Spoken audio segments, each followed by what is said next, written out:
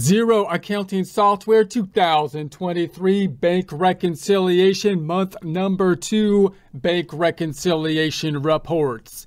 Get ready to become an accountant hero with Xero 2023. First, a word from our sponsor.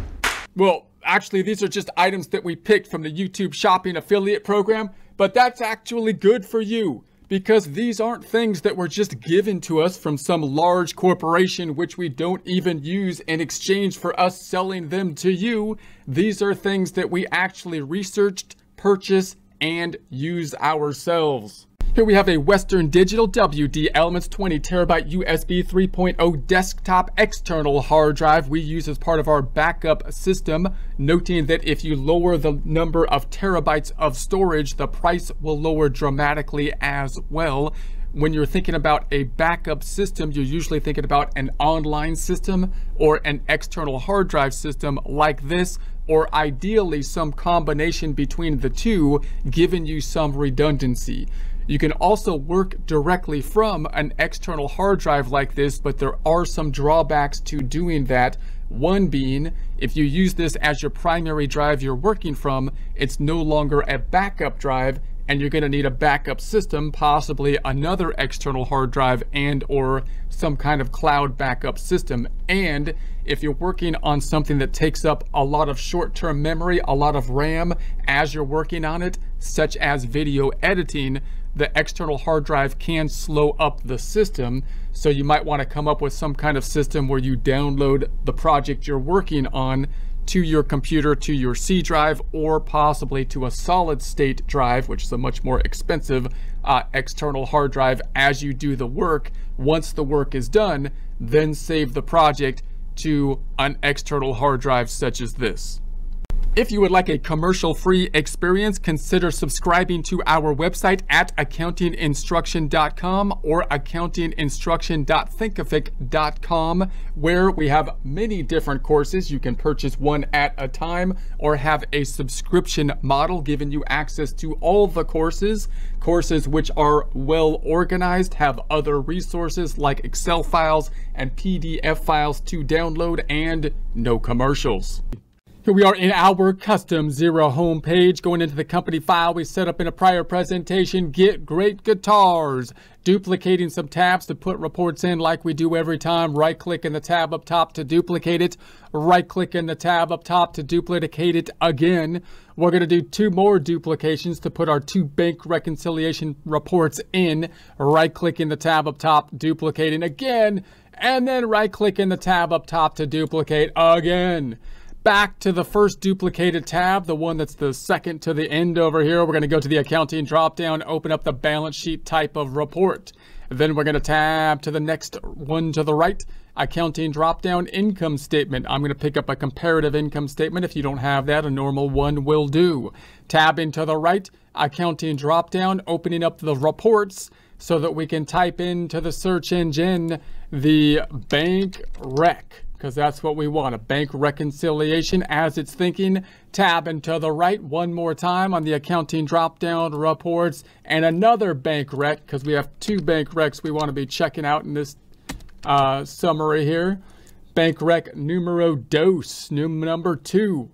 Let's go ahead and then do our ranges on the changes for the bank recs. Hitting the drop down, I'll do a custom range and we want Jan 1 to Feb to no wait a second hold on.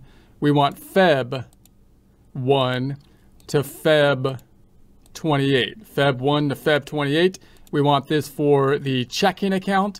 And then the balance I'm going to pick up from the bank statement for Feb 101-59005 101-590.05 and update it.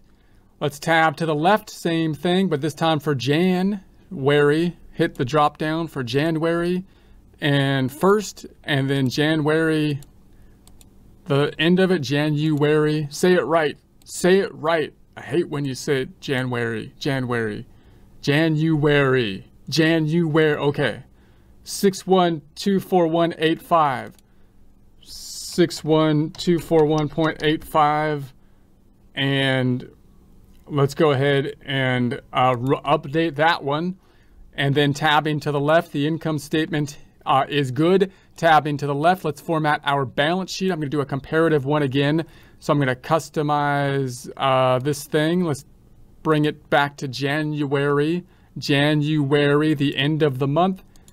I'm going to custom layout, edit the layout down below so I can put February next to it with a column side by side date column thing. And we'll just make this for February and update it so we can see those on a side by side, which is obviously super cool. All right, let's go to the first tab now. And we did the bank reconciliation for two months of operations thus far. We did that by going to the accounting dropdown into the banking section over here. And we went into our banking information account transactions. And we had our three tabs. The account transaction tab represents the things that we entered into the system, not necessarily from the bank feeds, but independent from them for the most part in our practice problem. Now, if we entered it into the system, uh, then it may have been matched out to the bank, but not necessarily. The second tab over here represents what we uploaded from the bank, or it would be the connection to the bank feeds. Everything through the cutoff date, 228, should be reconciled if it came through on the bank feeds because that means it has to be in our books unless the bank was wrong. And so everything in here is basically reconciled out.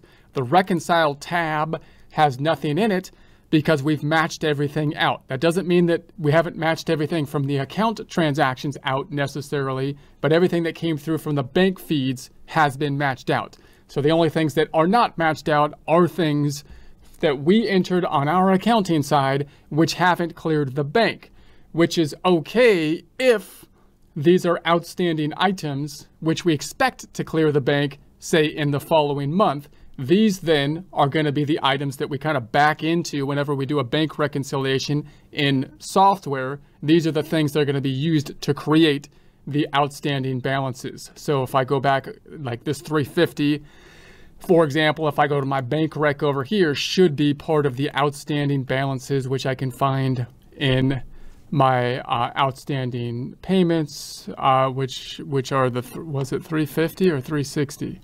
It was, uh, I, I, don't even know where it was anymore. 360, 360. Uh, I, that's what I meant, because that's the one right here. So we can see that, see, it's outstanding. So that's what's being used to create and build. You can see how this all fits together, right? So let's go with our bank reconciliations. Let's recap.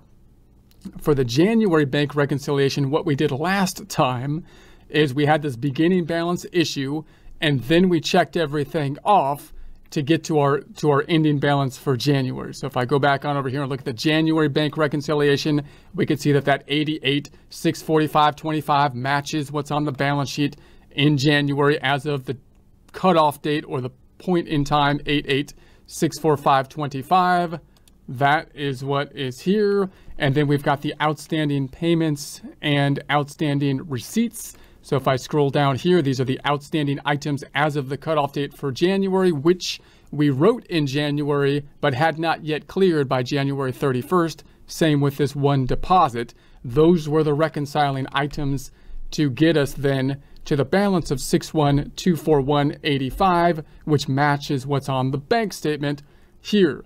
Then in February, this 61,241.85 uh, is what's on the February beginning balance, therefore eliminating that beginning balance issue. So now in February, we have that 9525906. That's what's on the balance sheet. That's on our books as of the cutoff date of February 28 now.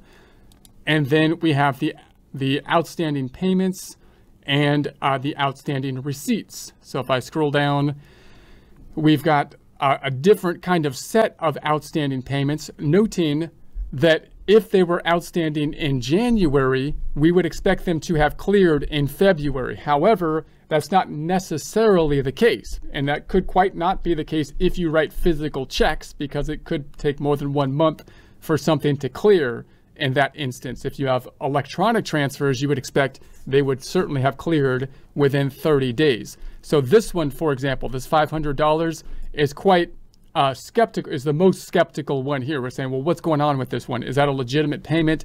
Did it get lost in the mail? Did the check get lost in the mail? Uh, did we enter it twice or something like that? Because you would think it would have cleared at this point, at least if it was an electronic transfer.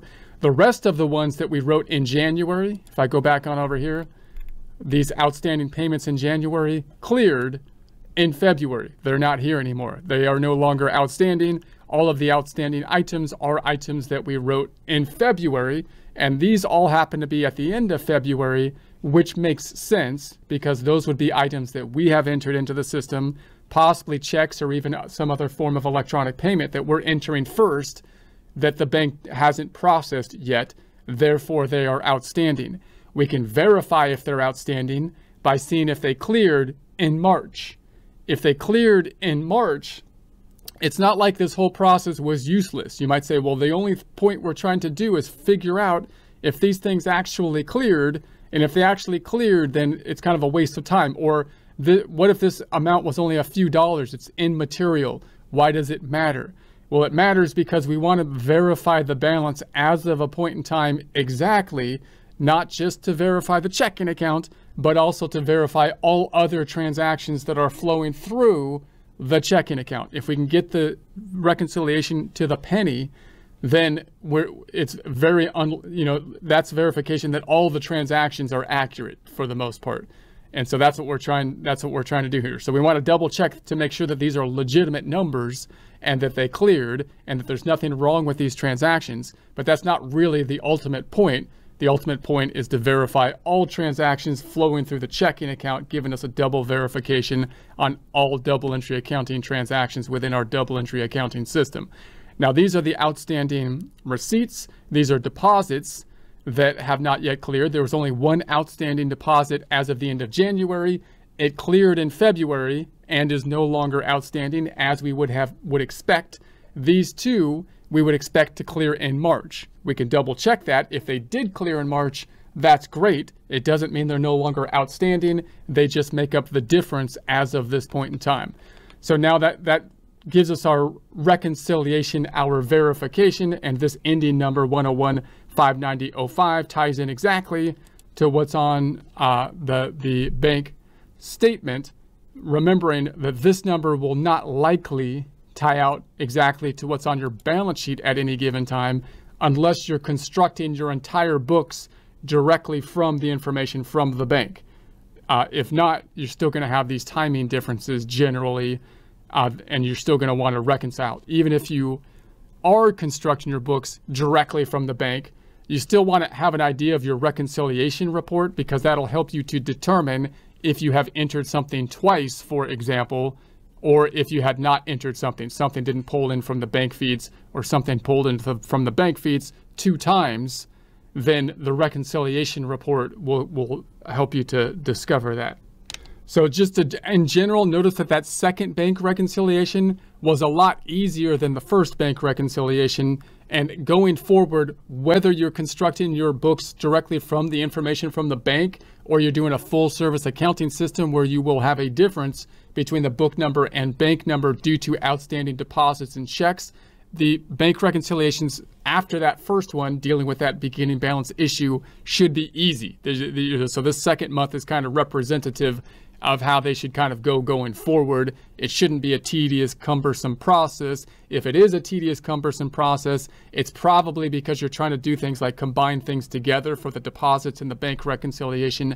And what you really need to do at that point is refine down your accounting system so that the bank reconciliation is, in as it should be, just a, a pretty easy uh, reconciliation task to do.